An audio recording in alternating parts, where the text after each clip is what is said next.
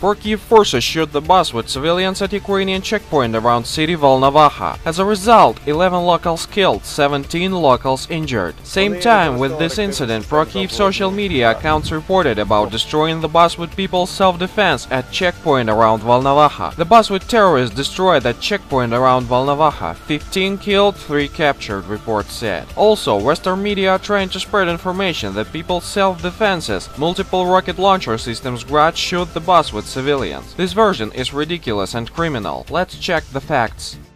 So, MRLS grad of people's self-defense didn't hit the bus, but Ukrainian army had all odds to shoot the bus by small arms. Hashtag I am Vanya campaign in support of Donbas children launched on the internet. Internet users are outraged by the fact that European authorities are ignoring the population genocide in southeastern Ukraine. The Russian flash mob is devoted to all Donbas children who have been killed and injured. Many internet users were angered by this double standard policy on the part of European authorities. Social network users post the following tweets. I'm not Charlie, I am Vanya from burning Donbas. I am Vanya, the world has gone mad. Wake up, people. Donbas children are dying. The campaign is devoted to a real boy Vanya, who is now at the Donetsk hospital. The 80-year boy was seriously injured during the shelling of his hometown of Shakhtarsk. The Ukrainian shell hit the courtyard, while Vanya and his 6-year-old younger brother were playing there. The brother died at the scene, and the Vanya lost both legs, his right arm and his vision. The boy has undergone three operations, but doctors cannot make any specific predictions concerning his future status.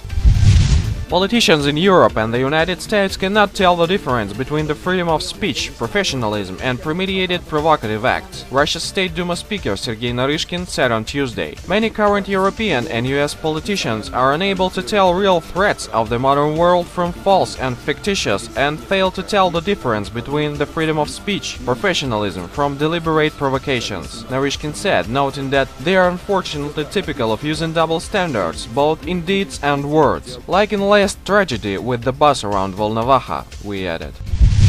Boko Haram has grown from a small terror group to a mini country with its own territory, which can be compared to gains made by the Islamic State. Boko Haram now controls an area the size of Costa Rica or Slovakia. The militant group's territory now totals about 52,000 square kilometers, according to an estimate released by The Telegraph. One of the latest towns to be captured by the group was Baga in the northeastern Nigerian state of Borno, close to Lake Chad. According to witness estimates, Boko Haram militiants killed at least 2,000 people there, although the Nigerian military later put the figure at 150. Amnesty International said the attack could be the deadliest by the group since it surfaced in 2009.